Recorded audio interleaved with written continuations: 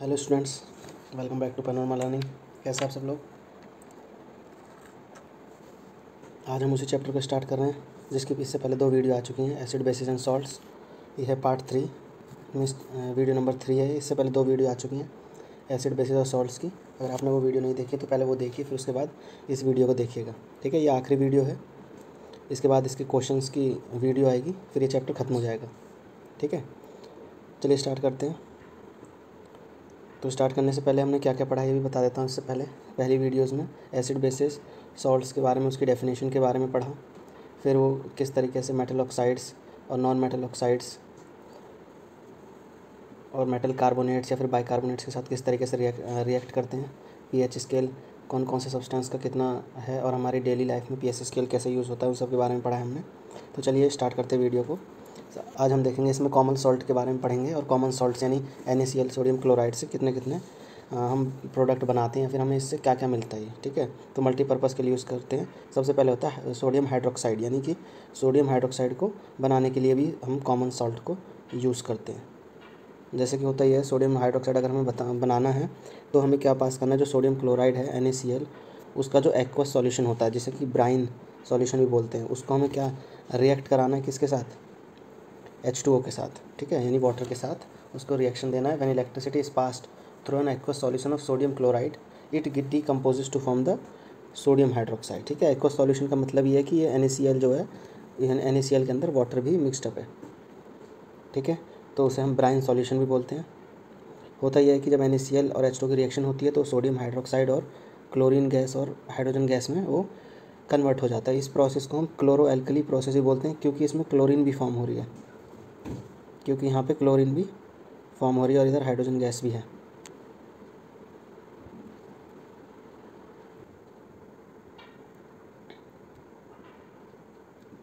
उसके आगे है कि जो जो इसके बाई प्रोडक्ट हैं सोडियम हाइड्रोक्साइड क्लोरीन गैस और हाइड्रोजन उनका यूज़ कहाँ कहाँ है, हम किस तरीके से उसे यूज़ करते हैं, क्योंकि तीनों ही ये यूज़फुल बाई प्रोडक्ट्स हैं अलग अलग वो ये यूज़ होते हैं हम, हमारे, ठीक है? तो सबसे पहले जान जान लेते हैं जो क्लोरीन गैस है, वो एनोड पे जाती है, क्योंकि एक तरीके से यहाँ पे हम इलेक्ट्रिसिटी पास कर रहे हैं एक सॉल्यूशन में बेसिकली है हमारा क्या इलेक्ट्रोलिसिस प्रोसेस ही चल रहा है, ठीक है? तो इलेक्ट्रोलिसिस प्रोसेस में जो क्लोरीन है वो एनोड पे जाती है। क्लोरीन क्योंकि नेगेटिव है क्लोरीन पे सी एल नेगेटिव होता है और एनोड पे पॉजिटिव चार्ज है, ठीक है? यानी पॉजिटिव एनोड है चार्ज नहीं है पॉजिटिव है तो नेगेटिव पॉजिटिव वाले के पास जाएगा, इसलिए क्लोरीन जो है एनोड के पास मूव करेगा, ठीक है? और हाइड्रोजन गैस हमारा कैथोड के ऊपर। और जो सोडियम हाइड्रोक्साइड जो सॉल्यूशन है, सोडियम हाइड्रोक्साइड जो सॉल्यूशन है, वो हमारा कैथोड के पास जो है फॉर्म होगा, ठीक है? तो जो इसके थ्री बाई प्रोडक्ट्स हैं, वो कहाँ कहाँ यूज़ होंगे, आप देख लीजिए यहाँ पे। बहुत अच्छे से एक्सप्लेन करके दिखाया हुआ है इसमें। जैसे कि पहला है कैथोड यानी कैथोड पे क्या गया था? हाइड्रोजन गैस तो कहाँ कहाँ यूज़ होता है ये? फ्यूल्स में मैरग्रीन में। मैरग्रीन जो होता है मैरग्रीन जो सब्सटीट्यूट होता है बटर का, ठीक है? तो वो वेजिटेबल ऑयल के साथ इसका रिएक्ट किया जाता है और जो है हाइड्रोजन गैस यूज़ करी जाती है उस चीज़, बनाने के लिए, ठीक है? तो इसको आपको ज़्यादा प्रोसेस मतलब डिटेल में नहीं पढ़ना है सिर्फ़ मैरग्रीन याद रखिए और एमोनिया फॉर द फर्टिलाइज़र्स उसके बाद क्लोरीन गैस कहाँ कहाँ यूज़ होती है? वाटर ट्रीटमेंट में, यानी वाटर को प्योरीफाई करने के लिए स्विमिंग पूल्स में क्लोरीन क्लोरीन गैस को, या फिर क्लोरीन गैस को डालते हैं।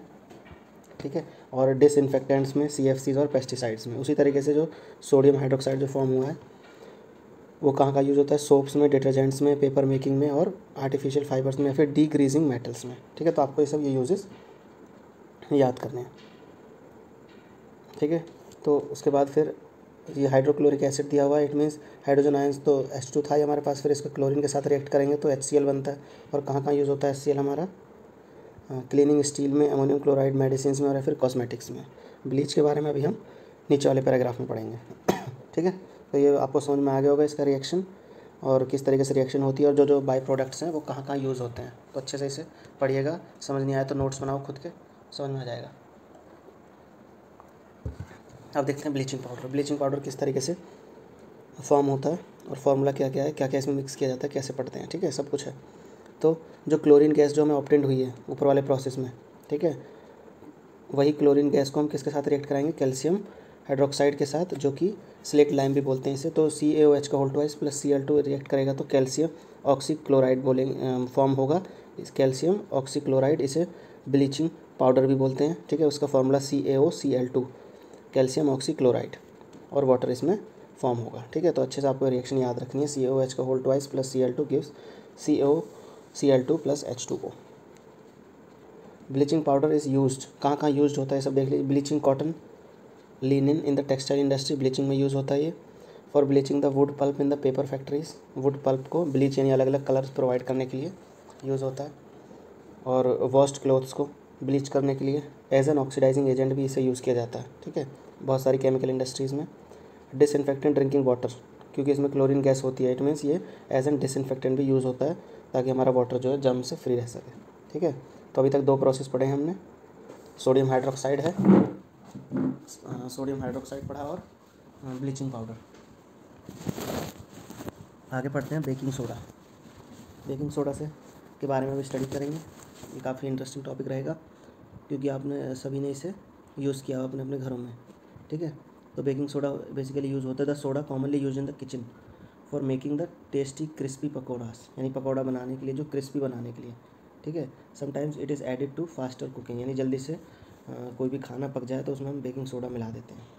बेसिकली बेकिंग सोडा जो फॉर्मूला उसका फॉर्मूला जो होता है N A H C O three sodium hydrogen carbonate ठीक है? और किस तरीके से फॉर्म होता है ये? हम फिर से क्लोराइड सोडियम क्लोराइड लेंगे। Water plus C O two plus N H three यानी यहाँ पे हम हमने यहाँ पे अमोनिया भी लिया है, ठीक है? तो दो प्रोडक्ट फॉर्म होते हैं N H four C L ammonium chloride और सोडियम हाइड्रोजन कार्बोनेट तो इसी तरीके से इसकी फॉर्मेशन होती है बेकिंग सोडा की, ठीक है? बेकिंग सोडा क्या होता है? क्योंकि इसका बेसिक नेचर होता है तो यहाँ भी लिखा है कि एसिड को भी न्यूट्रलाइज करता है। It is a mild non corrosive base ये पूरा बेसिक नेचर है इसका। अब इसे हीट करने पर क्या मिलता है हमें? अगर हम सोडियम हाइड्रोजन कार्बोनेट को जो यहाँ पे हमें बाई प्रोडक्ट मिला था, उसे हीट करते हैं हम तो हमें सोडियम कार्बोनेट मिल जाता है, यानी कि N A two C O three plus water plus C O two ठीक है? अब इसके यूजेस देखते हैं। सबसे पहला पॉइंट तो यही है कि बेकिंग पाउडर बनाने के लिए which is a mixture of baking soda and the mild edible acid such as tartaric acid यानी दो कॉम्बिनेशन से मिलकर बना होता है वो। बेकिंग पाउडर की बात कर रहे हैं which is a mixture of baking soda जो हमने बेकिंग सोडा पढ़ा है यहाँ पे बेकिंग सोडा और टैट्रिक एसिड का मिक्सचर होता है बेकिंग पाउडर टैट्रिक एसिड जो खट्टा होता है। किसमें मिलता है ये टैट्रिक एसिड आप कमेंट में लिख के बता सकते हैं। When baking powder is heated जब बेकिंग पाउडर को हीट करेंगे तो हीट करने पे क्या मिलेगा हमें? N H C O three plus H positive यानी जो हाइड्रोजन जो हाइड्रोजन आयंस हैं, उन्हें रिएक्ट करेगा, यानी फ्रॉम एनी एसिड ये एसिड से आए हैं। फॉर एग्जांपल यहाँ एच भी ले सकते थे, ठीक है? तो एच में इन्होंने क्या किया? सिर्फ़ एच को इस हाइड्रोजन हाइड्रोजन आयंस को ही लिया है। तो C O two plus H two O plus sodium salt of acid ठीक है? यानी एसिड तो फॉर्म होगा, वो लेकिन उसमें सोडियम सॉल्ट भी होगा। Carbon dioxide produce during the reaction causes bread और cake to rise making them soft and spongy जो यहाँ पर रिएक्शन जो कार्बन डाइऑक्साइड जो फॉर्म हो रही है, इसी की वजह से जो चीज़ें जो होती है, वो सॉफ्ट हो जाती हैं, ठीक है? या फिर ब्रेड की बात करें हम, या केक की बात करें, जो सॉफ्ट हो जाता है, यही कारण है कि जो सी फॉर्म होती है इसमें से, वही उसी कार्बन डाइऑक्साइड ही ब्रेड या केक को सॉफ्ट बनाती हैं और स्पॉन्जी जैसा बना देती हैं। और बेकिंग सोडा यानी जो सोडियम हाइड्रोजन कार्बोनेट है, वो एंटासिड्स के रूप में भी यूज़ होता है। एंटासिड्स मतलब जो against acid against the acids यानी कि जो भी बेस होते हैं, जो हमारा एन है वो एसिड के साथ रिएक्ट करता है और न्यूट्रलाइजेशन रिएक्शन बनाता है, ठीक है? उसके बाद being alkaline it neutralise excess acid and stomach and provide relief ठीक है? ये हमने पहले ही पढ़ चुके हैं। Use in the soda acid fire extinguishers इन सब में भी यूज़ होता है सोडा एसिड फायर एक्सटिंग्विशर्स में भी उसके बाद है वॉशिंग सोडा वॉशिंग सोडा के बारे में पढ़ेंगे। अभी हमने उससे जो बाई प्रोडक्ट मिलता है N A two C O three dot ten H two O ठीक है? टेन एच टू को मैं आगे बताऊँगा, जो वाटर ऑफ़ क्रिस्टलाइजेशन है। इसके बारे में आगे आगे पढ़ेंगे इसी वीडियो में।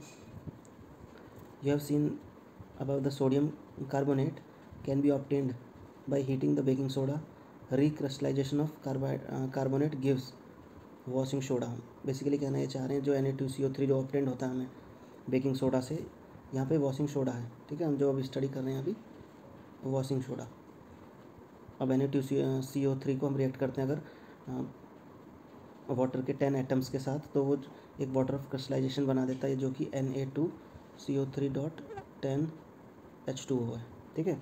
अब dot ten H two O क्या सिग्निफाई करता है?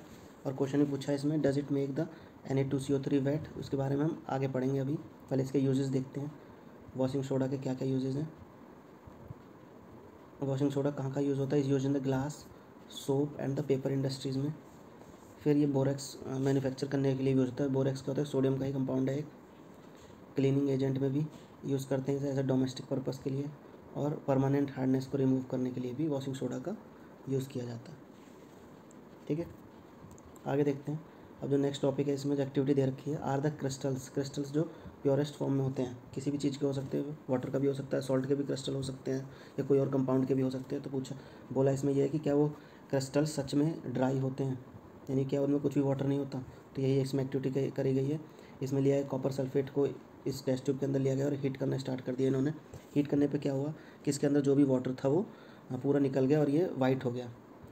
ठीक है? ये जो हमारे पास कॉपर सल्फेट था, ये वाइट हो गया, क्योंकि इसके अंदर से वाटर रिमूव हो गया था। लेकिन वापस से जब इसके अंदर ऐड करी गई टू और थ्री ड्रॉप्स तो फिर से ये सॉल्यूशन जो कैसा कलर हो गया, इसका ब्लू कलर हो गया। ठीक है? पूरा इस एक्टिविटी का जो रिज़ल्ट है, मैंने भी बताया आपको और ये लिखा भी है यहाँ पर copper sulphate crystals which seems to be dry contain water of crystallisation when we heat the crystals the water is remove जब हमने उसको C U S O four को हीट किया था तो पूरा वाटर रिमूव हो गया था। अब रिमूव होने से हुआ ये था कि सॉल्ट जो था वो वाइट था वाइट हो चुका है। अब वापस से अगर हमने वाटर डाला उसके अंदर सॉल्ट के तो फिर से ब्लू कलर आने लगा। तो बेसिकली ये कहना ये चाहते हैं कि जो हमारे क्रिस्टल्स थे सी एस ओ फोर के तो उसमें कुछ ना कुछ वाटर प्रेजेंट था।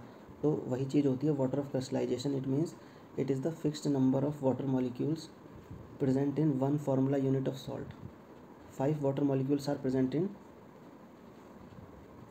one unit of copper sulphate जो कि यहाँ लिखा है formula unit of copper sulphur sulphate इसीलिए C S O four dot half five H two half नहीं, सिर्फ़ फाइव एच टू इसका फार्मूला होता है। इट मीन्स इसमें फाइव वाटर मॉलिक्यूल्स होते हैं। ठीक है? इसी तरीके से अब हम इसका आंसर दे सकते हैं जो इससे पहले हम पढ़ रहे थे। जो N A two C O three था washing soda dot ten H two तो आपको समझ में आ गया होगा कि इसके अंदर N A two C O three के अंदर जो इसके क्रिस्टल्स हैं, उसमें वाटर के मॉलिक्यूल्स दस होते हैं, ठीक है? अब इसके बाद हम प्लास्टर ऑफ़ पेरिस पढ़ेंगे, उसके बारे में स्टडी करेंगे कहाँ कहाँ यूज़ होता है, किस तरीके से फॉर्म होता है। One other salt which possesses water of crystallisation is gypsum ठीक है? जिप्सम का जो फॉर्मूला होता है C S four dot two H two O अब ये जो C A S four dot two H two O है, जो जिप्सम है, इसी को हीट किया जाता है थ्री सेवेंटी थ्री कैलविन पे। होता यह है कि वाटर मॉलिक्यूल को लूज़ कर देता है और एक प्रोडक्ट बनाता है कैल्शियम सल्फेट हेमीहाइड्रेट ये याद करना है आपको, जो C S O four dot half H two है, यही फार्मूला कहलाता है प्लास्टर ऑफ़ पेरिस यानी पी ओ पी ठीक है? तो समझ में आया कि जिप्सम को हीट किया गया थ्री सेवेंटी थ्री कैलविन पे और जो कंपाउंड बना, वो कैल्शियम सल्फेट हेमी हाइड्रेट बना। जिसका formula C S O four dot half H two है और इसको हम प्लास्टर ऑफ़ पेरिस बोलते हैं। अब डॉक्टर्स का कहाँ कहाँ यूज़ करते हैं इसे? The substance with the doctor use for plastering जो हमारी हड्डियाँ टूट जाती हैं, उसी चीज़ को उसे जोड़ने के लिए हम प्लास्टर जिस प्लास्टर का यूज़ करते हैं, वो हमारा प्लास्टर ऑफ़ पेरिस ही होता है। और एक तरीके से वाइट पाउडर होता है और वाटर के साथ मिक्स करने पे फिर से जिप्सम फॉर्म कर देता है। ठीक है, जो आपके घरों में छत पे जो लगी लगी होती है डिज़ाइन बना होता है, वो प्लास्टर ऑफ़ पेरिस ही होता है बेसिकली जो C S O four dot half H two O होता है, इसको वापस से जब हम पानी में मिक्स करते हैं, ठीक है, जो यहाँ रिएक्शन दी हुई है पूरी तो वापस से जिप्सम बना देता है और जिप्सम बहुत हार्ड सब्सटेंस हो जाता है, ठीक है, इसीलिए हमारी ये जो भी पीओपी लगी होती है वॉल्स पे, वो छूटती नहीं है आसानी से, और हमेशा के लिए वो वहीं पे चिपकी रह जाती है, क्योंकि जिप्सम बहुत हार्ड सब्सटेंस बन जाता है, कुछ ही टाइम में। ठीक है तो इस चैप्टर में जो इतना ही है और अगर आपको नहीं समझ में आता है तो आप जो है एन की जित पूरी जो भी हमें टेक्स्ट बुक प्रोवाइडेड है, उसका जो चैप्टर टू है, जो अभी पढ़ रहे थे, जो ख़त्म हो गया है, उसे एक बार खुद से रीडिंग करिए तो समझ में आ जाएगा, ठीक है? और इसके बाद जो वीडियो आएगी इसी चैप्टर की, वो टेक्स्ट बुक क्वेश्चंस की और इन टेक्स्ट क्वेश्चंस की आएगी विद सॉल्यूशन विद एक्सप्लेनेशन ठीक है? तो आपको एक आंसर देना है इसमें, जो ये छोटा सा पैराग्राफ जो लिखा हुआ है, इसमें आखिरी में पूछा हुआ है why the calcium सल्फे sulphate hemihydrate is is called the P O P यानी इसे प्लास्टर ऑफ़ पेरिस ही क्यों बोला जाता है? ठीक है? प्लास्टर ऑफ़ इंडिया या फिर कोई और कंट्री क्यों नहीं बोला जाता? तो आपको इसका आंसर ज़रूर बताना है और इसके यूज़ भी लिखा है एक और। एक तो जो हड्डियाँ टूट जाती है फ्रैक्चर्ड बोन्स में लगाने के लिए यूज़ होता है और टॉयज़ बनाने के लिए डेकोरेशन में सरफेस को स्मूथ करने के लिए भी यूज़ करते तो आपको जो है आंसर देना है कमेंट में लिख के कि कैल्शियम सल्फेट हेमी हाइड्रेट को प्लास्टर ऑफ़ पेरिस क्यों बोला जाता है। ठीक है? अब मिलते हैं नेक्स्ट वीडियो में। उम्मीद करूँगा कि आपको वीडियो पसंद आई होगी। अगर आपने यहाँ तक देख लिया है तो चैनल को सब्सक्राइब करो। वीडियो को लाइक भी कर देना, ठीक है? और उन बच्चों तक वीडियो पहुँचाओ जो इस लॉकडाउन पीरियड में आराम से बैठे हुए हैं। घर पे कि कोई स्कूल नहीं है, लेकिन वहाँ तक पहुँचाओ, बच्चों तक पहुँचाओ वीडियो को, ताकि वो लोग भी पढ़ सकें, ठीक है? तो मिलते हैं नेक्स्ट वीडियो में। जब तक के लिए bye bye have a nice day